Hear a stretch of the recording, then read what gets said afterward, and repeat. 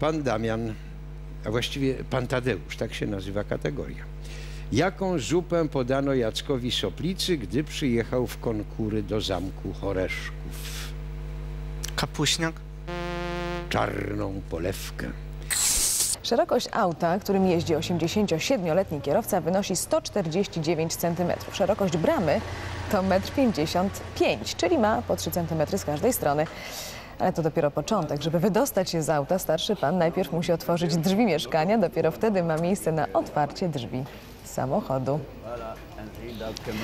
Akurat jeśli o to chodzi, to do Belgii nie trzeba jechać, żeby zobaczyć takie widoki. Mam znajomych, którzy identycznie parkują w garażu. I tak wsiadają do Tak. domu? Ale to jest tylko jazda zimą i wczesną wiosną, bo w lecie wiesz na czym polega problem. Nie można jechać z łokciem wystawionym za okno.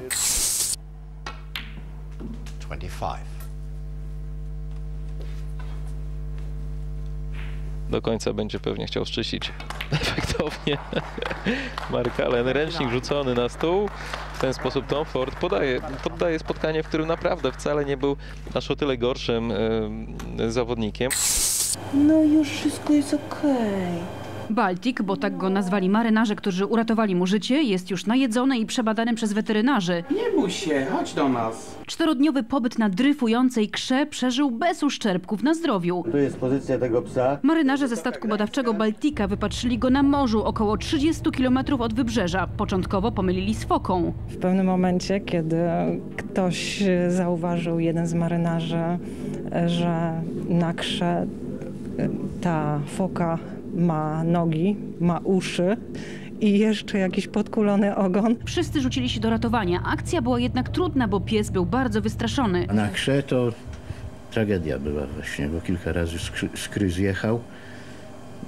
Prawie co by po- pod kadłub wszedł. Zanim jednak Baltik dopłynął do Bałtyku, przepłynął Wisłą około 200 kilometrów. Pies prawdopodobnie został uwięziony na krze w Toruniu cztery dni temu. Dzień później w Grudziądzu próbowali go wyciągnąć strażacy, ale się nie udało. Podobnie jak następnego dnia strażakom z Kwidzyna.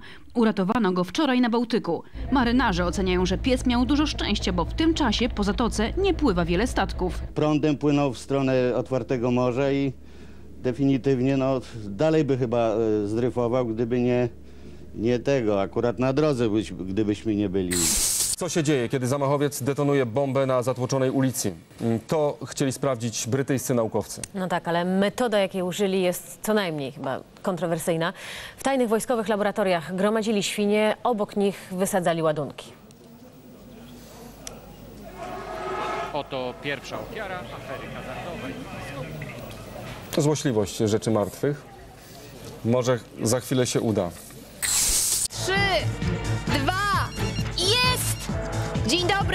Dzień dobry. Proszę pana, jaka będzie odpowiedź? Kot Szkodan. Koczkodan za 300 zł. Brawo, a w kopercie była kurka wodna. Taka mała e, kurka wodna. Są jednak doświadczeni bracia Christopher i Felix Katongo. Jest tu znakomicie się prezentujący Jacob Mulenga z siódemką, który teraz walczył o piłkę. Naciskał tam nigeryjskich stoperów.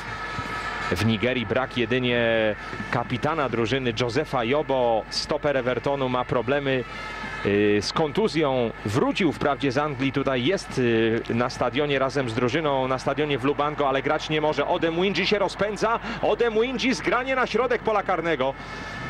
Jeszcze Nigeria.